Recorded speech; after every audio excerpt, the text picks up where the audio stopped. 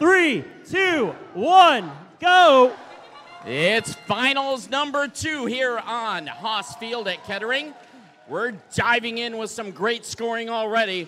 We see one, two, three game pieces up on top for red.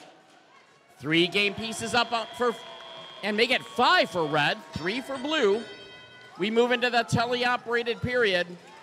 Red's 44, blue is 30.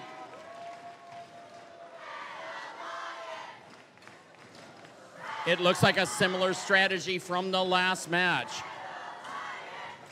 Martians and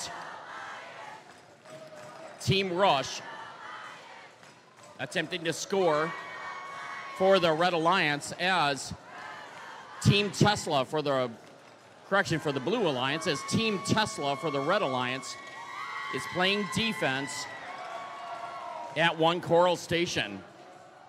Meanwhile, on the Red Alliance, 2137, Torque, 5460, strike zone. Continuing to rapidly score for our Red Alliance. Red always already has 12 Coral up. Make it 13. Make it 15. I can't even keep track. Blue has 11 scored.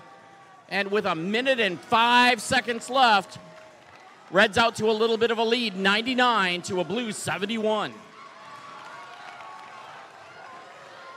Martians and Rush continuing to cycle. Tesla playing some hard defense for the Red Alliance on the blue side of the field, as the Hybrid Hornets also playing defense for the Blue Alliance on the red side of the field.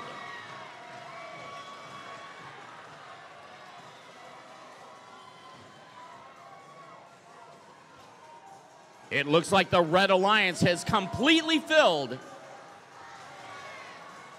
tier number four. Oh, they got one left. As we get closer to the end game period, still a very close match. The end game may make the difference with this one. Martians score again. We've got 10 seconds left. Let's see what these machines can do. We've got one, two blue robots off the carpet. And no red robots up. Someone. We're waiting.